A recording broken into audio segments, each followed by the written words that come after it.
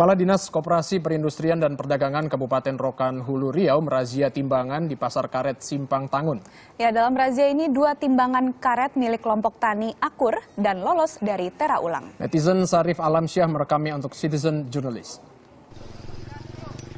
Kepala Dinas Koperasi Perindustrian dan Perdagangan Kabupaten Rokan Hulu selasa siang inspeksi mendadak di Pasar Karet Simpang Tangun, Rokan Hulu Riau.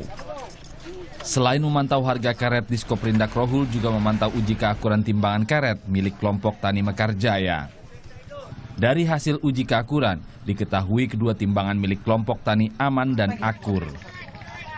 Razia timbangan ini bertujuan untuk meminimalisir kecurangan yang merugikan petani. Jadi kita kumpulkan dulu bukti-bukti, kita kumpulkan di faktanya, setelah itu nanti akan kita adakan pertemuan dengan leading sektornya, mungkin perkebunan, eh, ketahanan pangan, eh, dari mana mereka bisa masuk, dalam upaya kita mengangkat eh, harga yang sekarang memang setiap minggunya eh, turun.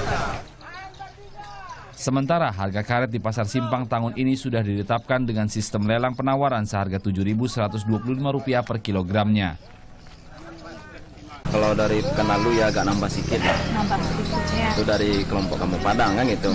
Kalau dari kelompok kita yang minggu yang dulunya turun, nah, turun. Kita kan dua minggu sekali. Nah, minggu ini kita minggu besok kamu Padang.